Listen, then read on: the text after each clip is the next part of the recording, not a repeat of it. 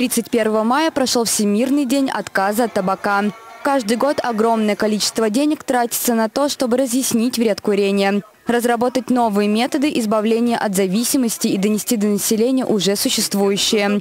Так, при поддержке Роспотребнадзора на территории деревни Универсиады прошел забег с участием спортсменов, приуроченный к Международному дню отказа от табака.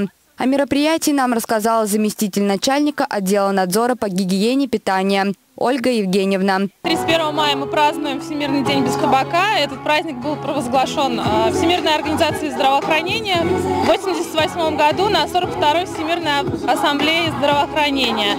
Вот в этом году к нам присоединились Минспорта, Казанский федеральный университет, Поволжская академия спорта и туризма.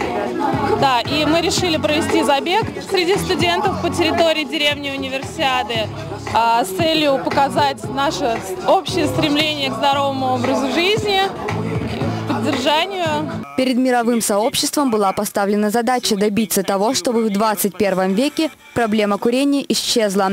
21 век наступил, но проблема не исчезла.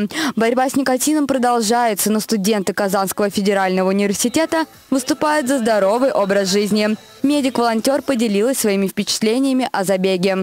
Важно помнить, что здоровый образ жизни – это залог нашего успешной, нашей успешной жизни. И актуальна именно сегодня эта тема. Вот. Именно поэтому, наверное, я решила принять участие в забеге. А, таким образом агитировать других людей, окружающих, тому, что движение – это жизнь. Я вообще, в принципе, люблю бегать, человек спорта я, и подумала, почему бы нет, прекрасная погода, все располагает к забегу, в принципе, поэтому движение – жизнь. Аурелия Сташкова, Влад Михневский, Универ News.